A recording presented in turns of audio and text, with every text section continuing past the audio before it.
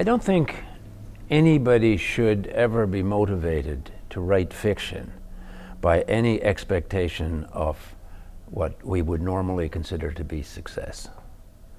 I think the motivation to write fiction comes from another part of the human spirit that has not much of a connection with common sense or rational process like, is this going to pay for the time I'm spending it? Is this going to be popular?